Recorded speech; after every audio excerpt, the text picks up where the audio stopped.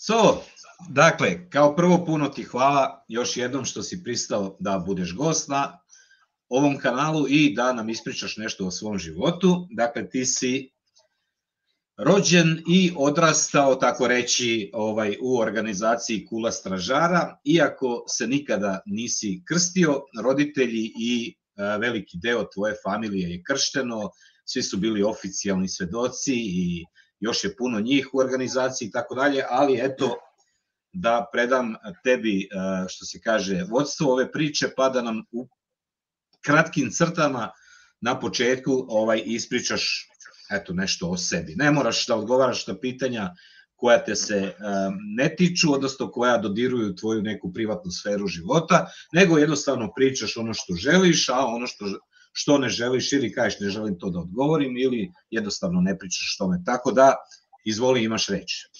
Ok. Uh, ja sam Elvis, inače sam iz Novog Sada, iz Srbije. Uh, kao što si rekao, rođen sam u organizaciji Ovaj, tu sam bio do moje, ček da mislim, do 17. godine otprilike, kad smo izašli. Um, da, nikad nisam bio kršten, mada sam teo, par puta sam pokušao, ono, ali od toga ništa nije bilo baš. Um, da, to je to. Trenutno sam u Nemačkoj, ovaj, gde smo i napustili organizaciju kad smo bili ovde i da, to bi bilo to otprilike. Ok, dakle, to bi bilo to, ti si rođen, odrastao i tako dalje. Kaži mi sad ovako za, čisto da znamo, tvoje to rano detinstvo i sećanje na taj period dok si još bio mali, ka, mislim, kako pamtiš najranije vreme vezano za tvoju porodicu i Jakovine svedoke? Najranije? Um, Najranije što se sećam je malo pre vrtića, dok još nisam imao toliko kontakta sa drugom decom, da kažem, izvan organizacije. Uh, ne sećam se toliko, znam da smo išli na puno tih skupova, sad van skupštine, znači ne samo na sastanke i to, nego na uh, šta ti je znam, druženja, o, kako se posete kod drugih braća, sestara, ovo ono. Um, to bi bilo otprilike najranije. Kao što sam rekao, nisam imao nekako društvo izvan te organizacije dok nisam krenuo u vrtić. Ovaj, da, to bi bilo to što se tiče toga što se najviše sećam, onda kažem krene tek od vrtića pa nadalje sam imao kontakt sa nekim drugim ljudima osim organizacije. Ali recimo taj period pre vrtića i kad si bio mali, uh, gde, mm. si, gde si uh, živeo tada? Uh, tada smo bili u Bačkoj palanci, koliko se ja sećam. Znam da smo šetali malo između Bačke palanke i još jednog malog sela. Um, od toga se ja kako ne sećam toliko baš i sve je nešto kroz maglu, tako da ne bi mogu baš puno o tome da kažem. Ove, što se sećam je da smo išli u skupštinu u Bačkoj palanci par puta, onako, kao što sam rekao, ne sjećam se baš toliko detalja i svega, jer to je bilo baš davno.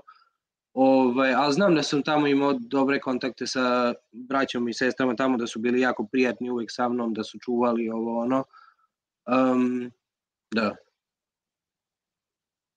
Kada kažeš da si imao dobar kontakt sa braćom i sestrama i da su čuvali, nisam baš najbolje razumeo šta su čuvali tebe ili... Da, da, da, da. Tako je. Znači, braća i sestre iz Bačke Palanke su bili spremni da tebe čuvaju, a. kad, zbog, zbog čega su imali potrebu da te čuvaju? Kao što se ne sećam se baš toliko tih detalja, mislim da kad je trebalo negde da se ostane, ako su mi roditelji bili da rade negde ili tako dalje, da sam onda uvek imao neko mesto gde bi mogo da ostanem neki period. Aha, okej, okay, dobro.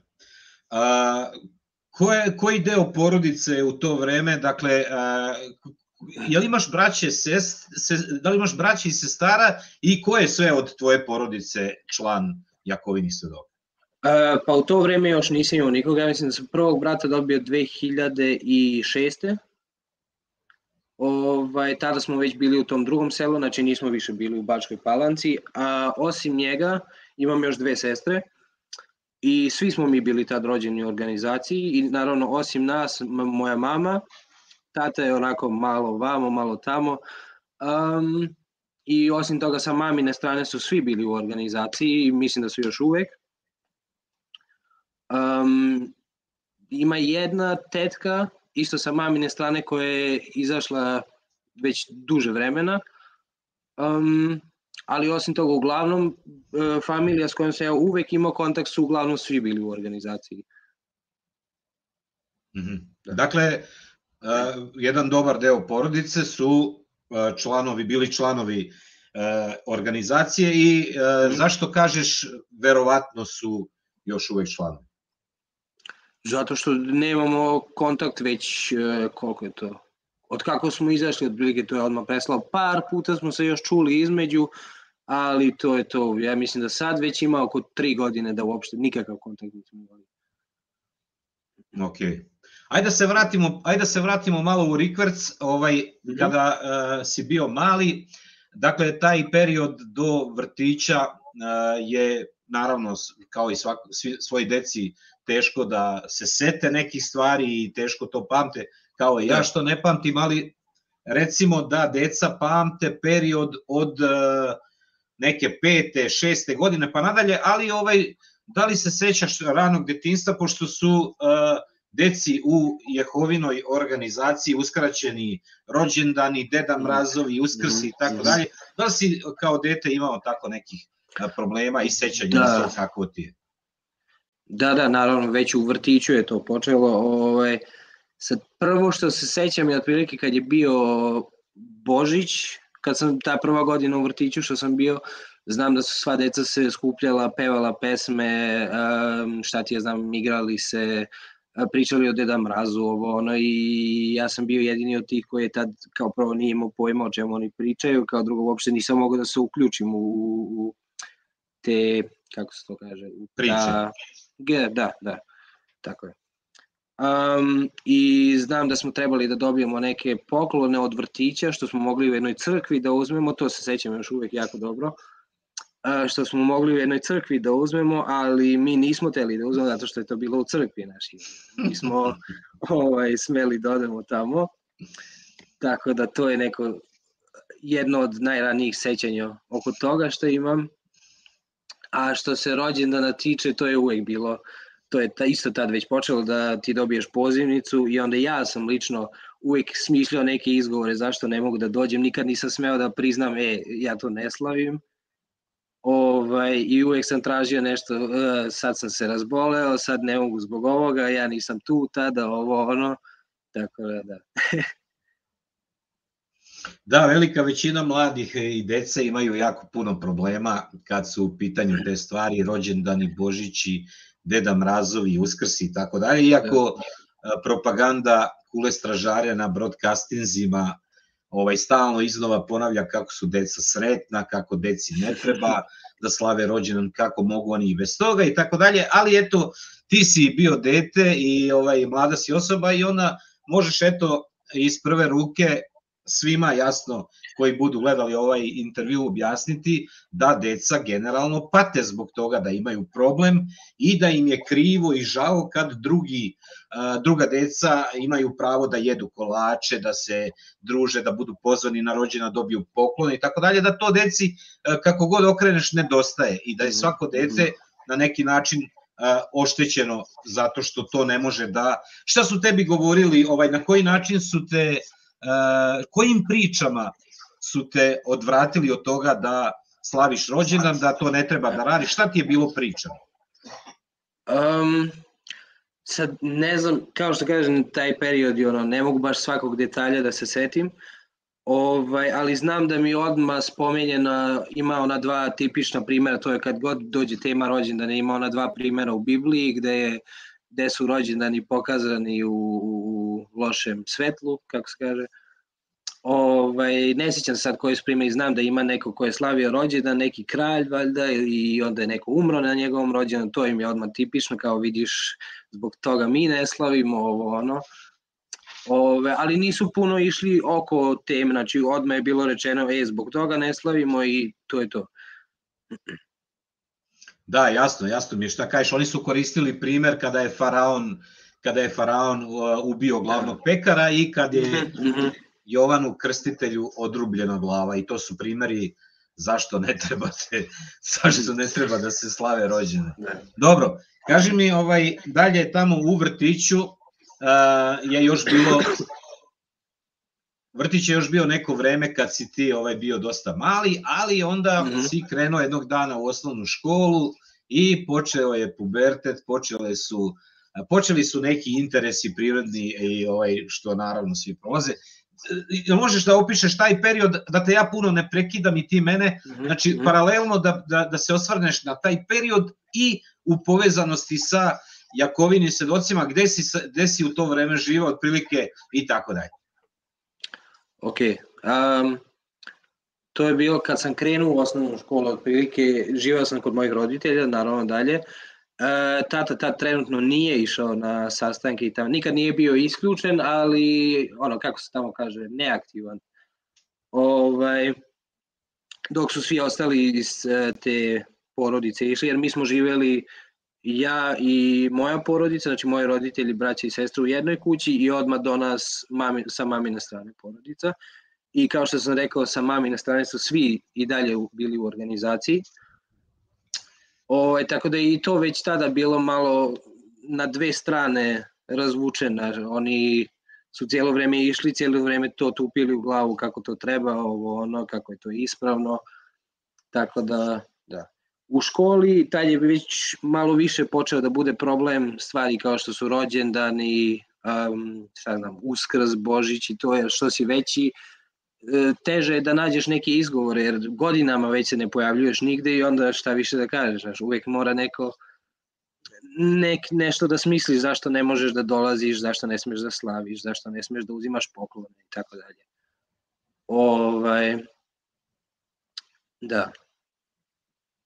Znači, sa- sad izvini samo na trenutak, Mhm. a, u to vreme, u to vreme ovaj, verovatno se ne sećaš da si kao dete išao u neke službe i tako dalje. Da li su ti roditelji, kad si bio mali, skroz tako, do, vrt, do tog perioda vrtića, Mhm, mhm. da li se sećaš da si išao e, s mamom, tatom u neke službe, propovedanja, ovo, ono? Sećam se par puta, sad ne znam kad je tačno taj period bio, ne znam da li je bilo u vrtiću ili još pre toga, ili ne sećam se tačno kada, znam da sam par puta bio sa mamom ovaj, i od toga se ne sećam toliko puno, znam da samo da sam šetao od kuće do kuće i da smo zvonili na par vrata. Um, jednom sam čak bio i sa babom i tetkom, toga se isto dobro sećam i mislim da je to čak bio studij ili neka naknadna poseta ili nešto, znam da smo duže vreme sedeli u toj kući kod neke druge ovaj, kod neke druge žene i znam da smo duže vremena sedeli tu i pričali, mislim ja nisam pričao, oni su pričali sa njom. Ovaj, tako da do tog perioda nisam baš toliko često bio sa njima, možda još kad sam bio manji, ali ne sjećam se toliko tih, uh, tih odlaska u službu. Da. Što se tiče ovako dečije, dečije neke literature i to, da li ti je Mhm, mhm. bilo u da li si samo se bavio, da li te, su te roditelji kljukali samo sa jehovskom propagandom za decu kao što je moja knjiga biblijskih priča ili je ili si imao dostupno i neke druge ovako priče i informacije. Pa kako kad, da, da kažem, kod mojih roditelja, a za, tamo gdje smo mi živeli u toj kući, sam imao, da kažem, normalan um, pristup ono, svim stvarima. Ja se sećam da sam kao mali gledao i stvari kao što su Pokemon i normalne crtanje. To nije da sam cijelo vreme samo uh, jehovskom indoktrinacijom bio. Ovaj, tako da sam imao neki deo te normalnog detinjstva, a kod druge kuće, mislim tamo kod e, ostalih sa mamine strane, tu je već bilo malo više e, kako se kaže, ono, knjige od organizacije, časopisi, e, ne znam koja je ta knjiga bila, uči od velikog učitelja itd. I tamo sam gledao do nekle normalne crtanje i to, ali tamo je definitivno više tih e, organizacijskih stvari bilo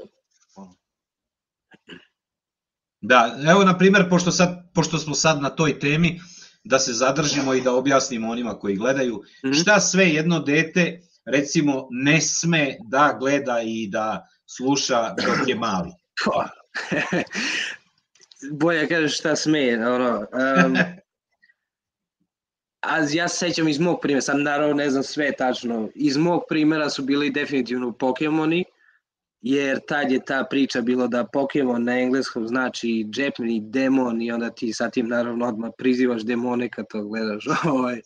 Naravno sam do nekog perioda gledao i onda su se ti e, sa mamine strane umešali i rekli ej ne smeš to gledati ovo ono i od onda nije ni toga bilo više. Mm -hmm. um, ne znam, uglavnom sve što ima neku magiju, nešto netprirodno, mm -hmm šta god, ugla, i japanski crtači, japanski kineski crtači su jako, jako bili e, nepoželjeni tada u organizaciji, tako da to su neke od tih stvari. Da, da, da, razumem šta kažeš. A na primjer sada kada je u pitanju dvoličnost, kada je u pitanju, a, a, o, znaš da Jehov, Jehovci uglavnom žive dvolične živote, dakle da. one za javnost se predstavljaju kao ovakvi, a kad su kući, kad ih niko ne vidi, su onakvi. Evo recimo, e, kad su u pitanju gledanje, gledanje filmova, slušanje muzike, mhm, gledanje mhm, serija i tako da, kako su se ponašali ovi drugi, taj drugi deo porodice koji su se pretvarali tamo i pričali kako su veliki jehovci, šta su oni radili u privatnom životu, da li su bili uredni, da li su živeli po onom što pričaju? Pa, kao prvo, što se tiče urednosti to, znači katastrofa, to je tada bilo, tada već, ja mislim da je do krajeg momenta dok smo imali kontakt je to bilo katastrofa, da je njihovo dvorište izgledalo jako neuredno, da su generalno bili, kako se to kaže, sakupljači stvari, znači kao da, kako se to kaže, da. kao da u lager neki uđeš, u magazin, to je tako bilo otprilike. Ove, a što se tiče morala i to, većina njih tamo u tom delu porodice su gledale filmove koji su bili puni e, nemorala, akcije, pucnjave, šta ti ja znam, psovki, ovo ono.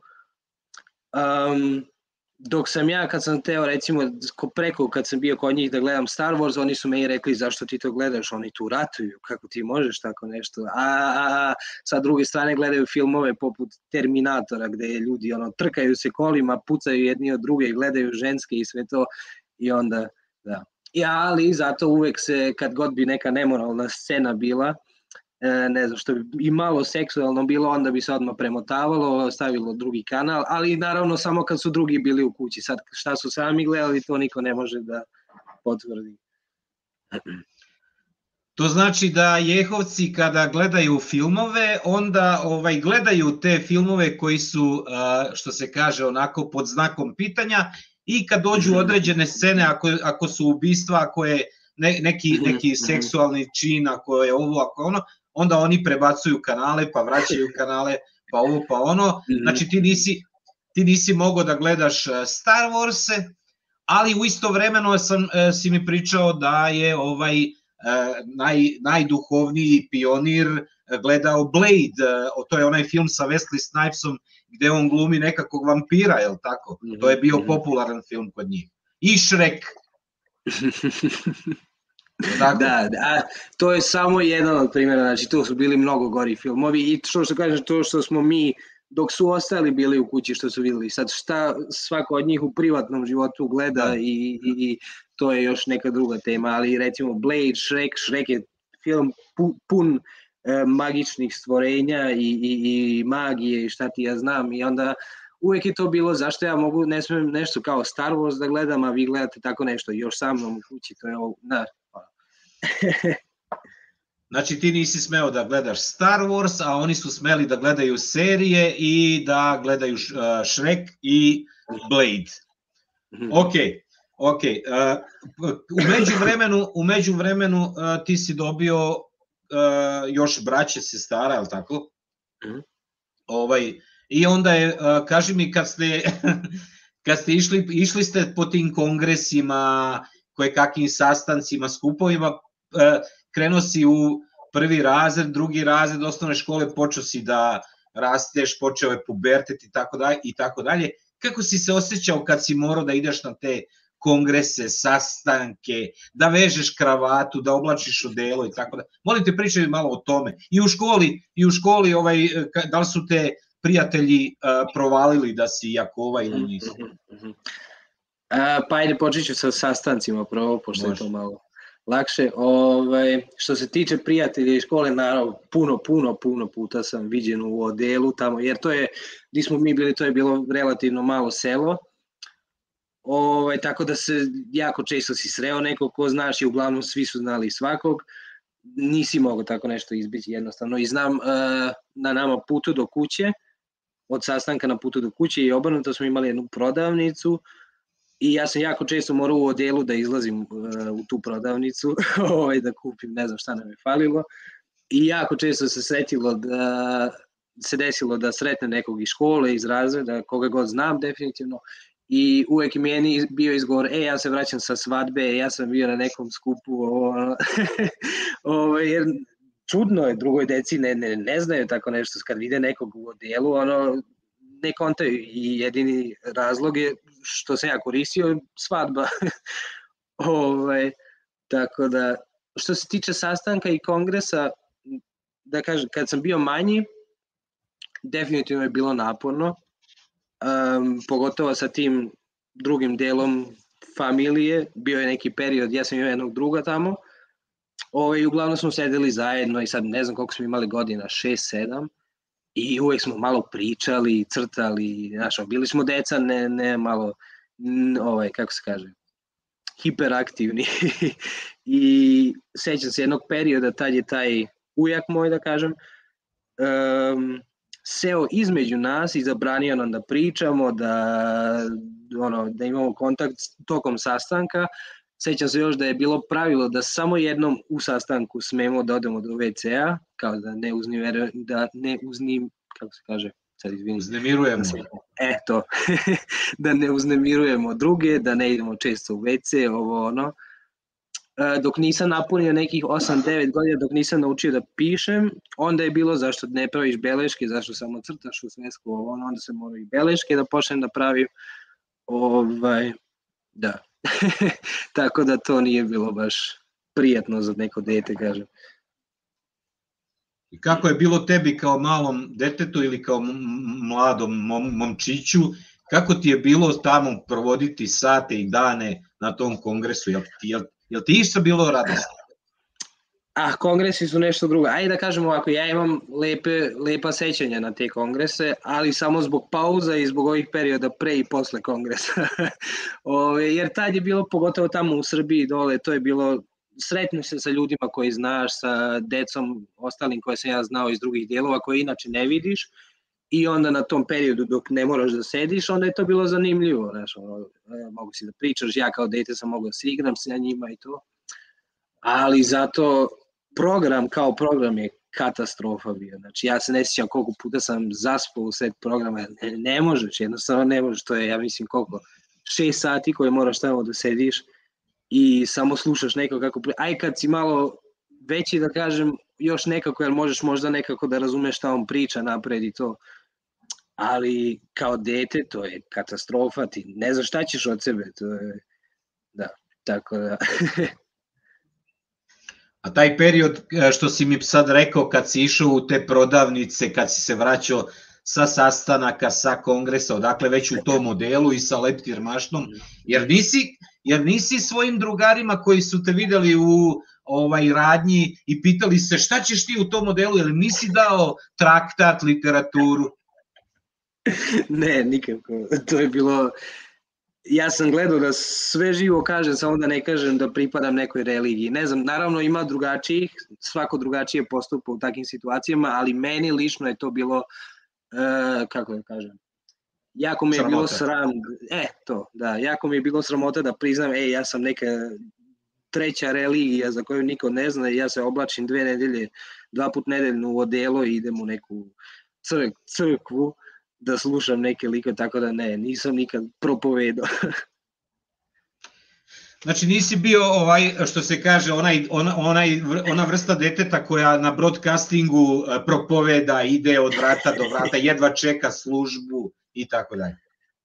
Ne, i ja moram da priznam da te koje ja znam iz moje skupštine i iz drugih tih skupština gde smo bili u toj jednoj dvorani, da ni jedno dete to nije radilo, da su svi gledali neke izgovore e, kako da se prikriju, kako da kažu gde su bili, ovo, ono, da niko od njih nije išao i delio drugim de, e, kako se kaže, drugoj deci u razredu i u školi traktate i šta ti je, tako da. Ne. Da, a reci mi samo što se tiče tvojih roditelja lično, tvoje mame i tvog tate, jesu bili duhovni, neduhovni, jel, ko te, jel te vukli u službu, jel ovako, recimo o njima par reči. Uh, pa, kao što sam rekao, je dosta velik period je tata bio neaktivan, znači i dalje je kršten, ali nije išao na sastanke u službu i tako dalje. Mama je bila aktivna i išla je na sastanke, bili smo relativno redovni i sve, ali mene nikad nije baš terala da idem u službu ili šta ti ja znam. Morao sam da idem na sastanke, naravno, Ove, ali sad što se tiče službe nije me baš niko terao da idem. Do nekog perioda, neki malo kasnije, ali to možemo kasnije da se vratimo. Da, ali mislim kad si bio dete, kad ste bili mali i ti i tvoja, tvoji brat i sestre, jel, ste, jel vam mama čitala Andersena ili vam je čitala moja knjiga biblijskih priča? A, pa, kao što sam rekao, mama je još bila ok, tako da smo imali taj balans nekog i ovamo i onamo, ali imali smo i sa njom proučavanje i e, ne sećam se koju knjigu smo mi proučavali. Mislim uči od velikog učitelja e, i sa mnom i sa mojim bratom. Moje sestre su tad još bile male, tako da sa njima nije toliko, ali naravno i oni su čitali, e, ne znam, znaš, onu žutu knjigu sa biblijskim pričama. Da, da. Moja knjiga biblijskih priča, to je bilo recimo da, da. za uspavanku i tako da. Aha, s tom knjigom ste išli na spavanje. Da, da, da. da. Mm -hmm. A, ok. ok. Ok, da, onda ovaj, kako si napredovao onda kroz to celo vreme, objasni, uh, ispričaj mi ako možeš kako otprilike, da li je bio neki napredak, pošto si stalno išao na sastanke, mama ti čitala biblijske priče, ne znam ono, da li si, da li si napredovao ka nečemu da postaneš neko i nešto, da, da postaneš Jakovin svedok? Kako je to izgledalo? Um, imao sam dosta pritiska da krene malo napred sa te strane porodice. Tako da ne sjećam se tačno kada, ali ja mislim kad sam imao oko 12 godina, 13, stvarno se ne sjećam kad sam se upisao prvo u teokratsku školu i tu sam bio par godina, ne znam do kog sam zadatka stigao, stalno čitanje Biblije, ovo ono, e, i proučavao sam sa jednim od sve strane porodice, sa ujakom, E, I onda kad smo prešli prvu knjigu, ja mislim da je prva knjiga bila šta Biblija zaista naučava i kad smo prešli na drugu, onda sam trebao da idem na razgovor sa starešinom jednim da budem, kako se kaže, nekršteni objavitelj. Ove, ali od toga nikad nije bilo ništa, ja i dan danas ne znam zašto, hvala Bogu da nije bilo ništa. Ove, ali što se toga tiče, nikad nisam dalje napravio, znači moje najviše je bilo teokratska škola Šta je to teokratska škola? Objasni za one koji ne znaju. Um, teokratska škola, što je da dobiješ, da kažem, privilegiju da nastupaš na bini. da li je, kad si muško, naravno, čitaš Bibliju, a ženske osobe bi imale prikaze da pokažu drugim svedocima kako da idu u službu, kako u nekim situacijama da, da se ponašaju i tako dalje. Dakle, teokratska škola je jedna vrsta treninga kako da obrlatiš i kako da ubediš nekoga da ovaj pristane na biblijski studij i tako dalje. Kaži mi samo ovaj ta teokratska škola. Da li može neko da bude Jehovin svedok, a da nije upisan u teokratsku školu? Ne. Na, ja ne znam trenutno ni jednog koji nije u teokratskoj školi, jer to je, to je da kažem, prvi korak koji te ubacuje u tu organizaciju. Znači, ne možeš biti nekršten da nisi u teogradskoj školi, ne možeš, e, ne znam da li možeš ići u službu da nisi u školi, mada verujem da ne, ali kao što kažem, to je ono prvi korak koji te gura napred prema krštenju. Dakle, teokratska škola je tako reći obavezna. Ako misliš da postaneš Jakova, onda moraš ići u teokratsku da. školu. Nema neću. Nije oficijalno, ali ono, svi znaju da je obavezno, moraš jednostavno. Nema okolo. I onda tu dobijaš nekakve ocene, je li tako?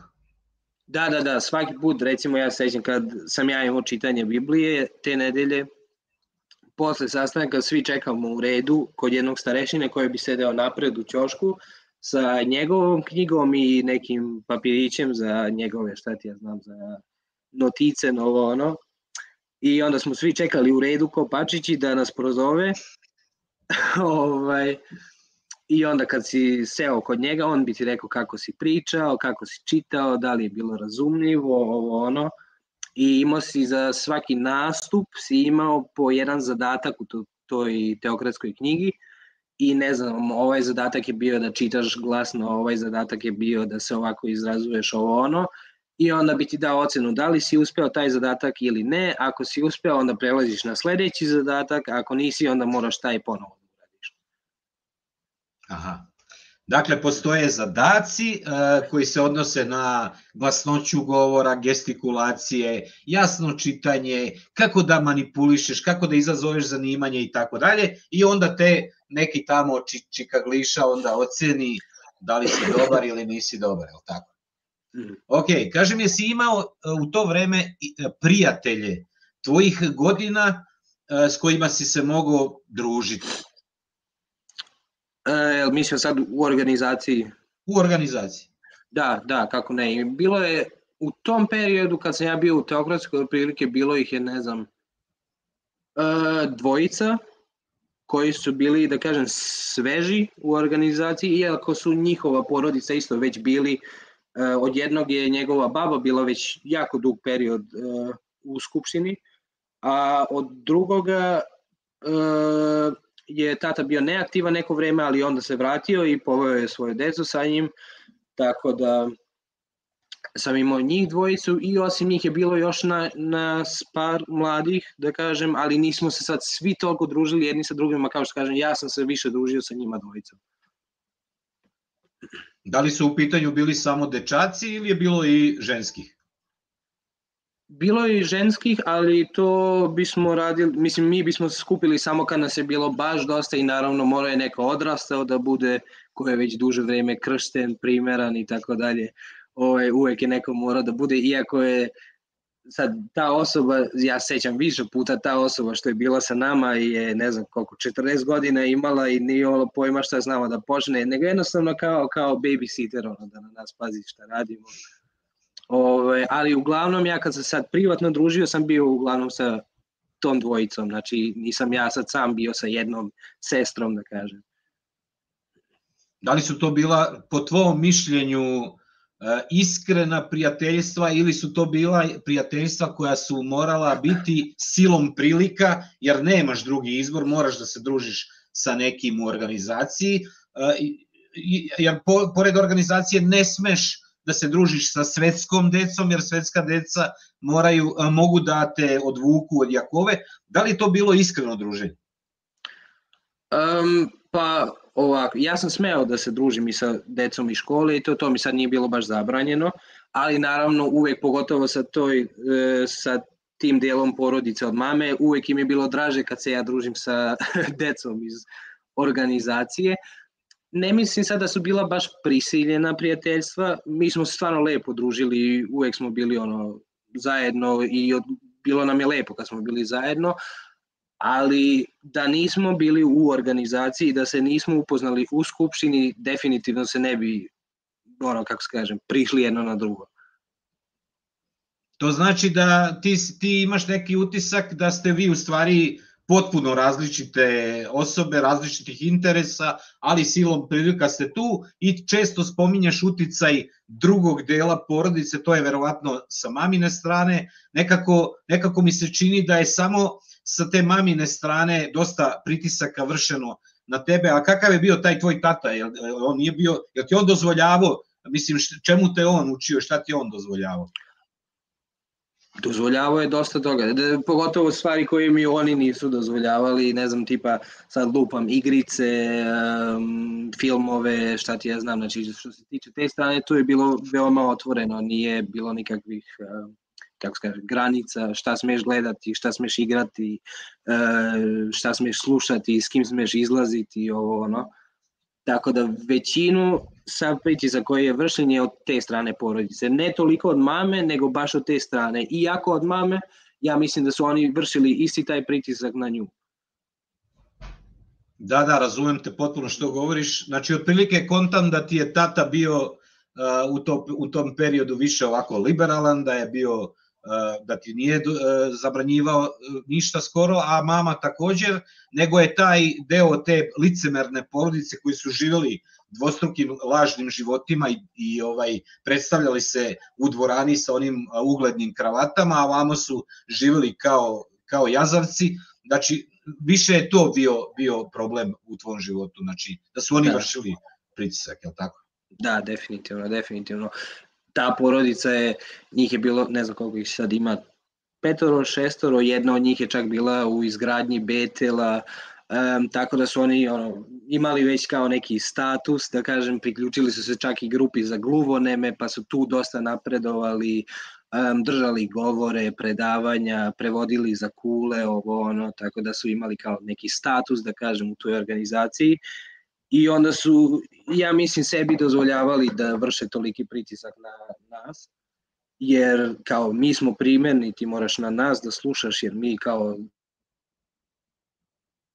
znamo šta Da, da, da, razumem te potpuno što si rekao.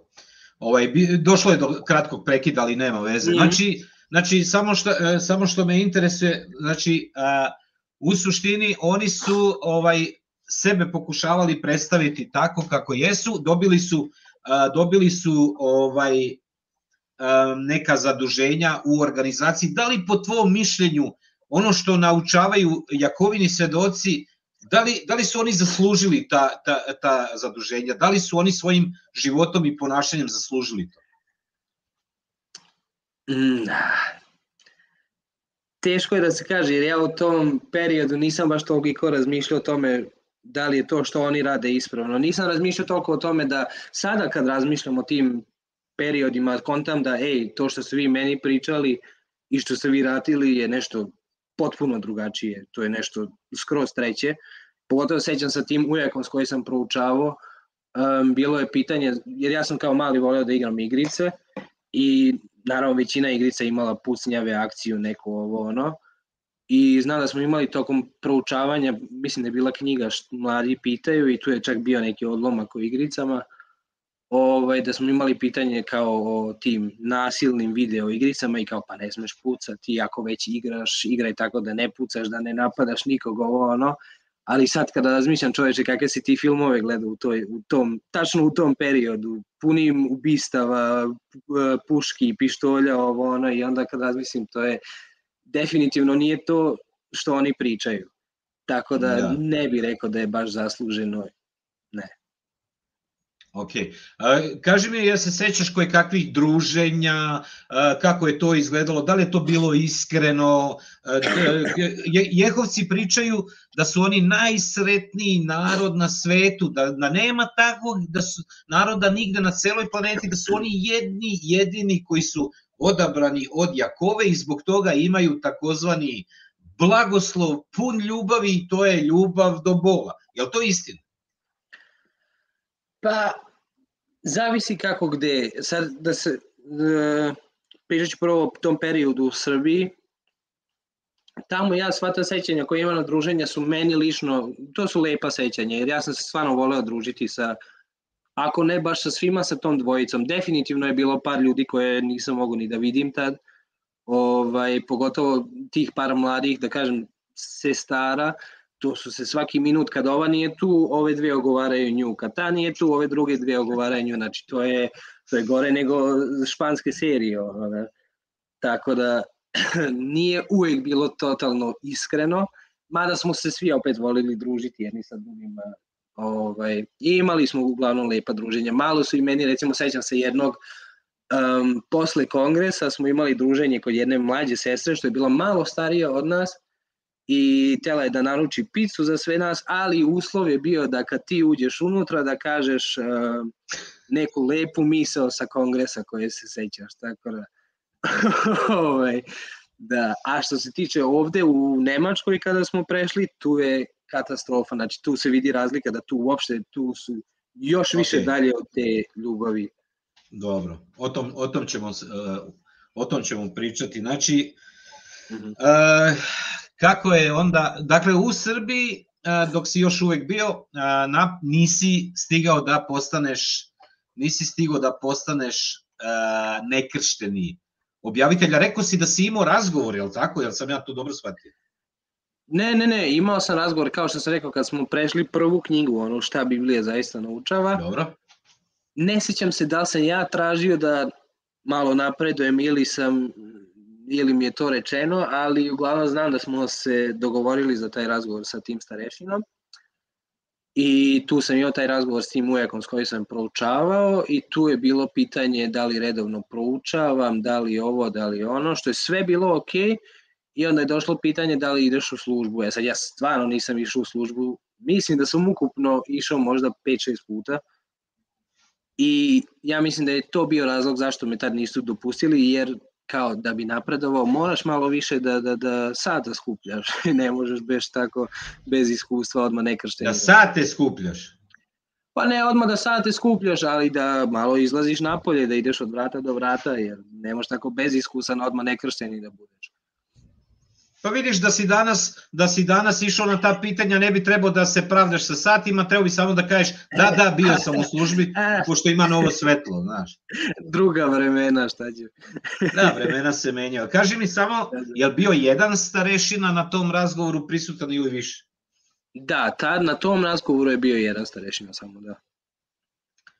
I to je bio jedini razgovor koji si ti obavio sa starešinama. Da li si posle obavio još neki razgovor, da li si se popravio, da li si krenuo konačno u službu? Ne, to je bio jedini, kao što sam rekao tada kad smo završili tu knjigu um, i onda je bila priča kao moraš malo više ići u službu, ovo ono, ali od onda ništa nije bilo. Ja sam i dalje proučavao i sve, ali nikad se to više nije spomenulo, niti on mene nešto pitao ponovo, niti se ja tra... mislim, meni nije baš bilo do toga svakako, ali kao što to je bilo zadnje što je bilo uopšte od te priče. Ovako, samo da ti skrenem pažnju da nećemo spominjati ničija imena, znači imena ne dolaze u obzir, ali događaje možemo da prepričavamo, pa me zanima onda ovaj događaj, dakle, čuo sam da je ovaj e, tvoj taj ujak koji je bio izuzetno duhovan, koji je bio super i ovo ono, čuo sam da je bio isključen, pa me zanima šta je bilo? Ne znam tačno šta je bilo, znam da je on imao neku dal vezu ili šta ti ja znam sa jednom drugom ženom, koja je u tom periodu bila udata i s kojom smo se stalno družili, ovo ono. I kako je to izašlo, kako su oni o tome saznali, ja stvarno ne znam, da li se on sam sebe prijavio ili ona prijavila ili se jednostavno saznalo, ne znam, ali tad je bio isključen zbog toga i to je period bilo pogotovo u tom delu porodice, jao šta ćemo mi sada, pa kako ćemo mi nastaviti ovo, ono, naš, svi su bili ubijeni u pojam, pa moramo sad kontakt sa njim da prekinemo i sve, međutim dva dana posle sedi u dnevnoj sobi, svi doručkujemo zajedno, svi pričamo kao da ništa nije bilo. Znači od toga da se držimo tih pravila nije bilo definitivno ništa. To znači, e, kod e, Jakovinih svedoka postoji onaj zakon i pravilo da moraš da ignorišeš nekoga ko je isključen, ne smeš s njime više da imaš kontakt, iako ti je brat, iako ti je mama, iako ti je tata, iako ti je dete i tako dalje. Ja sam shvatio ja sam shvatio da je taj, uh, taj supersonični ujak koji je bio jako duhovan, da je uh, se spetljao sa tuđom ženom i tako dalje, što se dešava, mislim šta ćeš, živ čovek, ovaj, to se dešava, nije problem, ali kakav je bio stav, da li su onda svi prekinuli po tom pravilu kontakt sa njime, da li su ograničili sa njime kontakte, da li je tvoja mama, pošto je tvoja mama sestra od tog čoveka rođena, Da li je ona prekinula kontakt sa njime, jer ona nije bila u, to, u toj porodici, tvoja mama je bila u drugoj kući, jel tako? Znači, po pravilu Jehovaca ona bi trebala komplet da je, pre, da je prekinula razgovor sa njim. Da li, da li su oni to uradili? Ne, uopšte. Kao da se ništa nije desilo. Sad ne znam, ne sjećam se tačno da li je bilo možda par dana kad stvarno nisu imali kontakt sa njim, ali osim toga za tih par dana kao da ništa nije bilo. Svi smo normalno pričali, normalno sedeli, on je u dnevnoj sobi s njima sedeo i gledao TV, komentarisao na TV, kažem, kao da ništa nije bilo, ali zato uh, sećam se toga kad smo dolazili na sastanke, išli smo sa dva auta, on u jednim kolima, uh, oni svi u drugim. I onda je on sedeo napolje do zadnjih dva minuta pre nego što počne sastanak i tek onda bi ušao, ovaj seo i naravno ne sme da priča s nikim, ovo ono u skupštini. U skupštini su se svi toga držali, niko nije pričao sa njim. Ovaj, ali kao što kažem, dok nismo došli do skupštine, ništa od toga nije bilo. Niko se nije držao tog pravila, tih pravila. To znači da su oni hteli da, da svi drugi steknu dojam kao da oni su s njim ograničili kontakte, kad dođu u dvoranu onda se pretvaraju da su ograničili kontakte, da bi to drugi videli i onda kad odu iz dvorane, kad ih niko ne gleda, onda ajmo i ovo nanovo sve po starom, tako?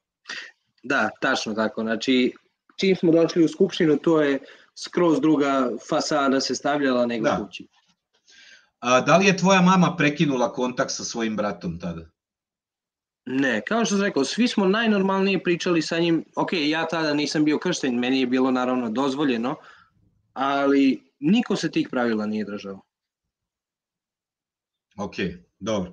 Kakva si ti, e, da li si ti imao pravo nešto u uh, skupštini da, ne znam, radiš, da li si imao neke prednosti, da li si smeo nešto? E, pa osim teogradske škole sam, ne znam koliko se godina to je bilo kad sam već malo stariji bio, ovaj, sam dobio, što je jako čudno bilo za taj period, ja mislim da smo mi jedina skupština bila koja je to radila, sam ja kao nekršteni, ne nekršteni, znači ni nekršteni objavitelj ni ništa, sam mogu da nosim mikrofon sa još dvojicama koji jedan je isto bio nekršten i jedan je već bio kršten. Ovaj, I mi smo, nas trojica smo smeli da nosimo mikrofon kako kad. Um, što je za mene, ja kad sam bio manji, ono to je meni bilo uh, doživljaj, znaš, ono, kad ja tako mali, još ni kršten i ništa, smijem da nosim mikrofon na kuli, ovaj, to je bio doživljaj. I onda ne, za neki period, ne sećam se zašto, ali odjednom je meni to bilo uskraćeno. Ja više nisam smeo da nosim, dok su ova dvojica i dalje nosila. Pogotovo kad sam ja bio tamo, ajde da su od njih dvojica bila kršena, ali samo jedan od njih je bio kršen, znači tehnički ovaj drugi isto ne bi smeo da nosi. Ovaj, ali i dalje mu je bilo dopušteno. E sad, da li to bilo da mene malo poguraju ili šta, ne sjećam se, ali sećam se tog perioda da mi to bilo katastrofa, znam da mi je bilo jako ne fair, zašto on sme ja ne smem, pogotovo kad sam već nosio, zašto mi odjednom uzimate to. Da, da, razumem šta kažeš. Znam još priču da si ovaj ti imao tu sreću da budeš na neki način indirektno upisan u istoriju organizacije Jakovinih svedoka, a to je zato što ima neke veze sa nekakvom dramom u Beogradu. Daj priče mi o tome. Ah, to je bilo, to je bila zadnja drama koja je bila igrana na Bini. E, mislim da je to bilo drama sa Jestirom. Um, tu sam bio, mislim, šest meseci pre nego što je trebala da bude drama, me je taj starešina, jedan od iz naše skupštine, pozvao na razgovor. E sad, navodno kao niko nije imao pojma o čemu, I onda sam došao tamo i tu je bilo dosta njih iz moje skupštine i iz paralelne skupštine, mislim iz iste dvorane, ali su pripadali drugoj skupštini.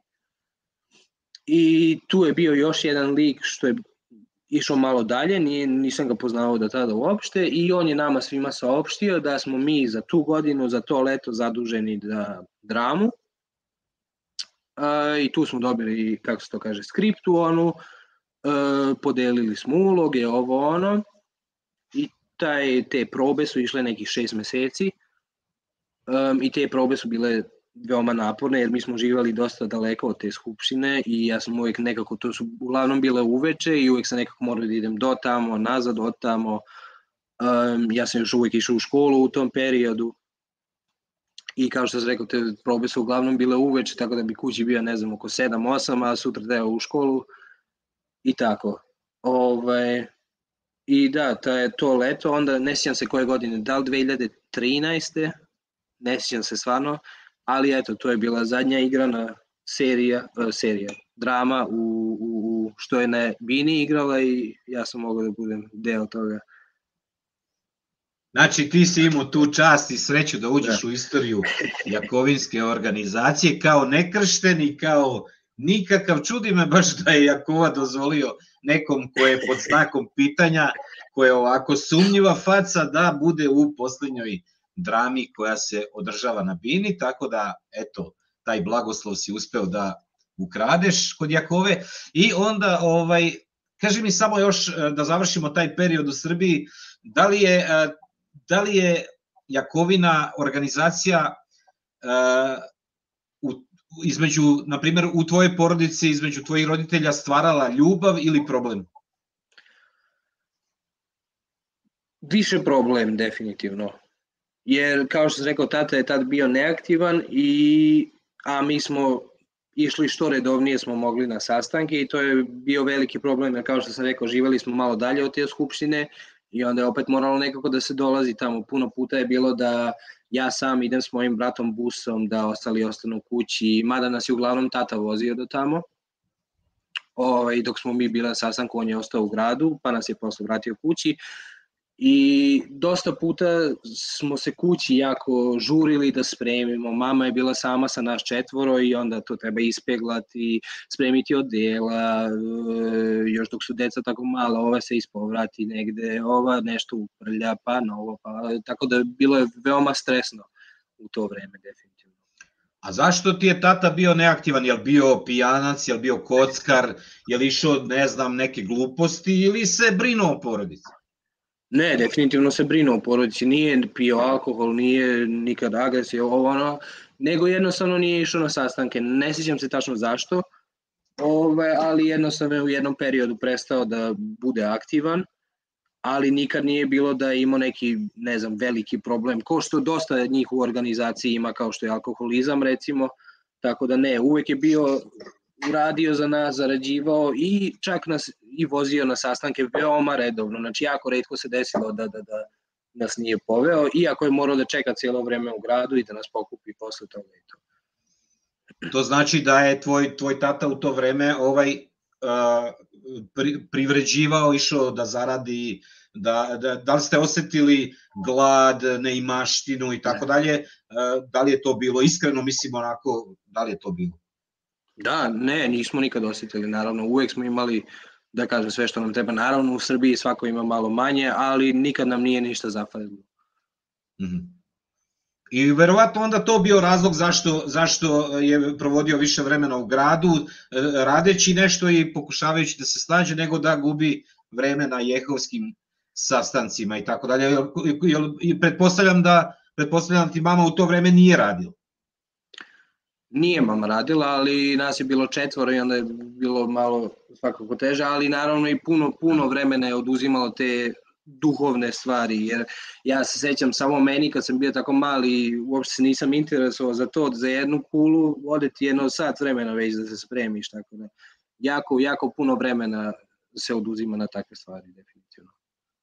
Dobro, ajdemo sad da pređemo na 2000 na 2015. kako smo rekli za tu Nemačku, znači šta se dešava, vi, vi odlazite u inostranstvo, prilike sad taj komad prelaska, kako je to izgledalo?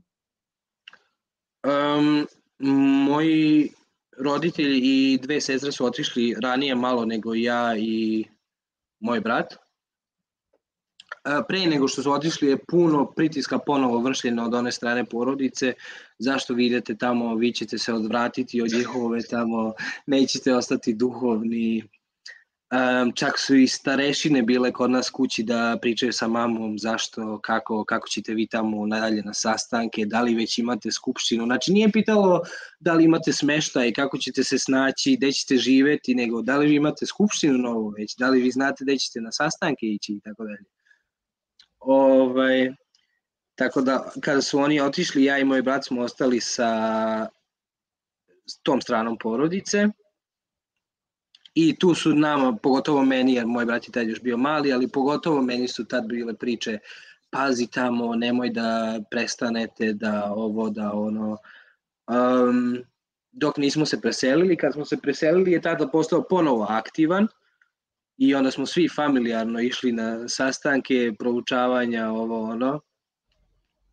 Ovaj, mada te skupštine tu i kongresi generalno su bile nešto skroz drugo od skupština tamo dole u Srbiji. Znači puno hladniji, puno bezosećajni i tako dalje. Dobili smo naravno ipak pomoći kad smo se preselili sve, ali jednostavno taj, kako da kažem, ta atmosfera nije bilo to isto. A ko vam je pomogao najviše u Nemačkoj?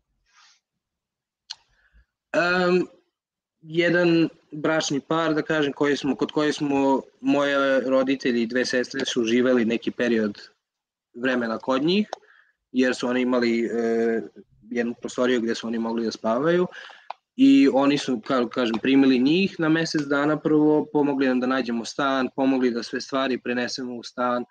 Um, i generalno su jedini od, iz te skupštine bili koji su stvarno jednu podršku pružili, da kažem. A ovi drugi?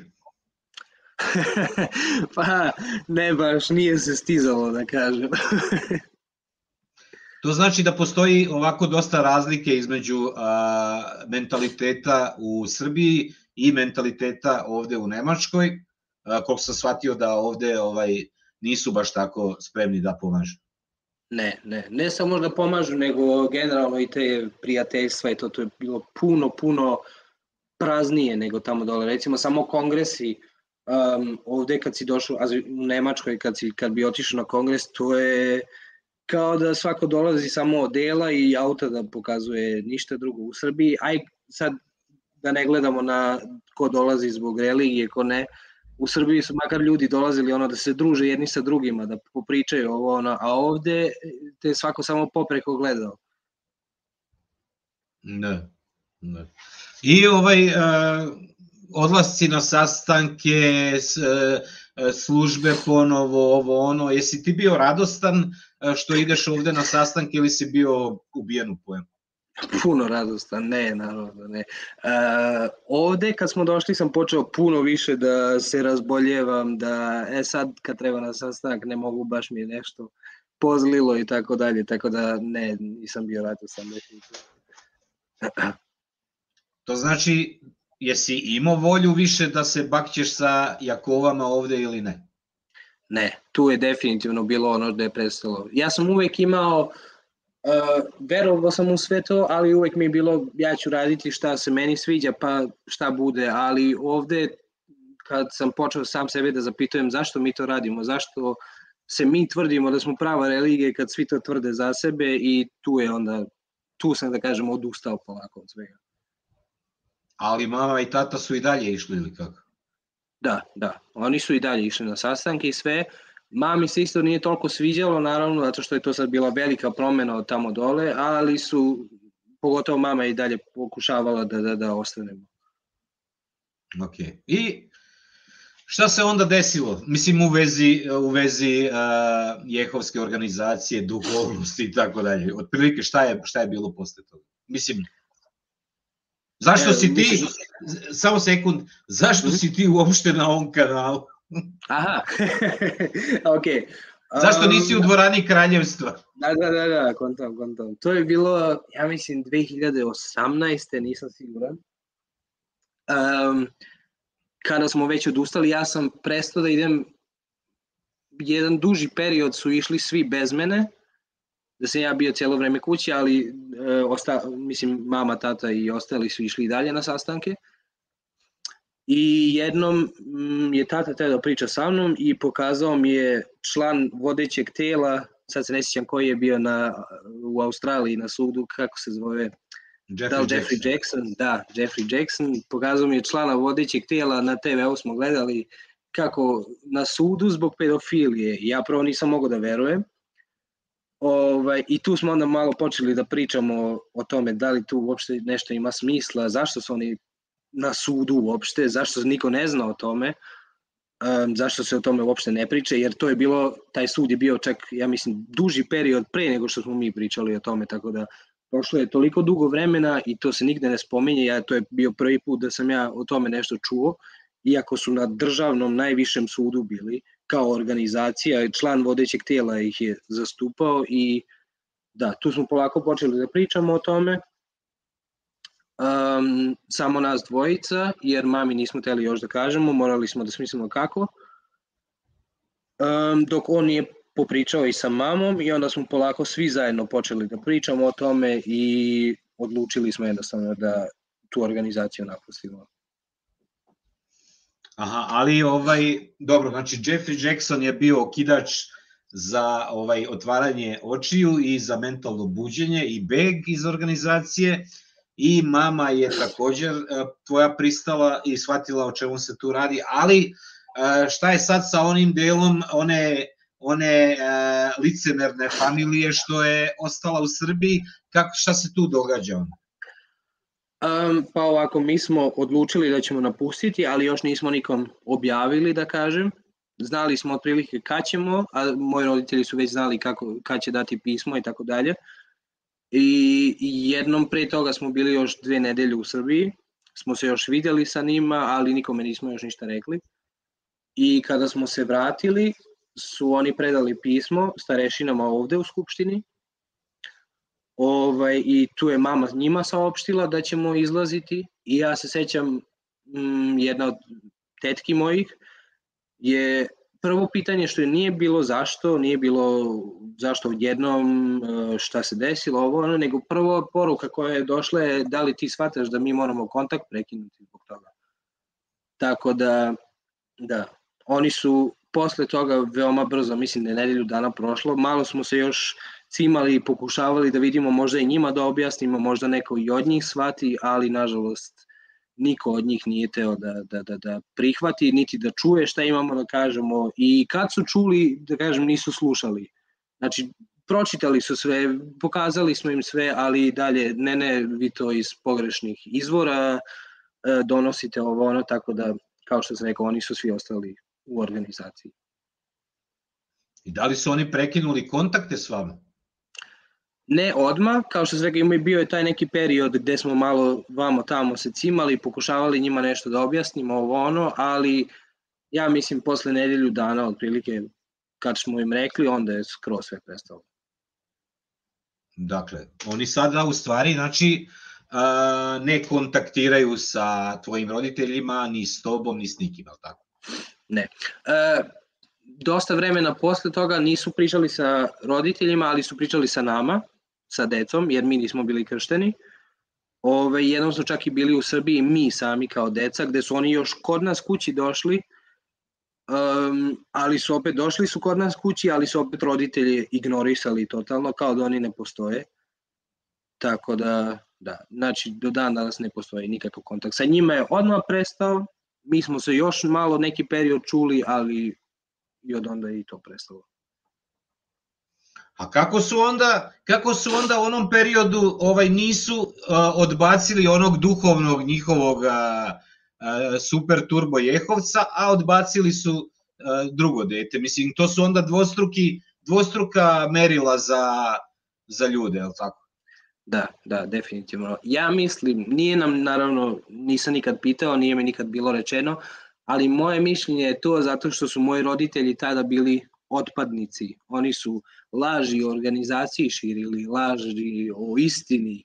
Ove, čak i kad sam ja, taj put kad smo išli u Srbiju, samo ja i moja braća i sestre, bez roditelja, su oni meni glavu punili kako ovaj, kako ja njih da vratim na pravi put, jer oni su sad trenutno izgubljeni ovaj, zašto oni takve laži u organizaciji šire, zašto šire te otpadničke vesti i tako dalje. Da.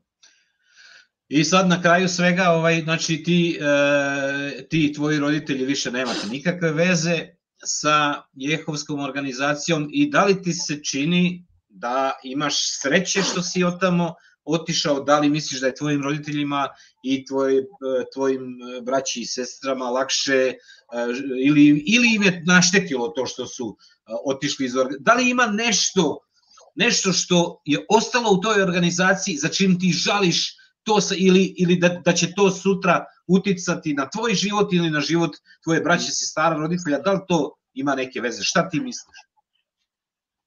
Um, da kažem, ne žalim za ništa što je ostalo u organizaciji. Jedino što je meni žao su ta prijateljstva koje sam imao, ali to se prekinulo kad smo mi došli u Nemačku i ne zbog organizacije, nego jednostavno zato što smo se razdelili. To je jedino što bi ja rekao da meni fali iz tog perioda, ali ovo ostalo, sastanci, služba, odela i to, to smo svi bili jako olakšani da je to konačno nestalo, da kažem ali pošto ti nisi kršten, ti ovaj i da si i da si imao prijatelje koji su ostali u organizaciji, oni s tobom sada više ne bi pričali.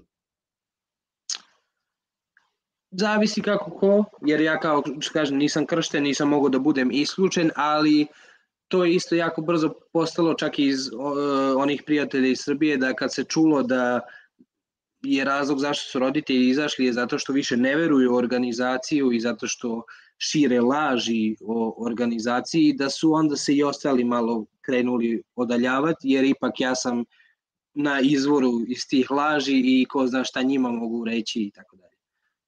To znači ti si dete zlih otpadnika i onda možeš biti opasan, možeš biti opasan i dovesti u opasnosti ove zdrave mhm. utovljene e, piliće jehovce da im prebaciš neki otpadnički virus, ili tako? Mhm, da, baš tako. da, da, dobro. Dobro, to bi bilo to otprilike. Ja sam a, ti puno zahvalan ovaj za ovaj intervju. Drago mi je da me nisi puno a, ovaj da nisi ništa loše rekao o meni iako sam ti ja roditelj i tata i puno ti hvala. Ovaj ovaj ali priznaj da nisam priznaj da ti nisam zabranio da da da da nešto ti cenzurišen ili rekao sam pričaj šta hoćeš i tako dalje. Da, da. Tako da, eto, dragi moji, eh, hvala ti puno na ovom intervju. Nadam se da ćemo se još družiti na ovom kanalu i ovaj čujemo se naravno čim okay. prekinemo ovaj intervju ili možda malo kasnije. Svako dobro i čao. Puno hvala. Ćao. Ćao.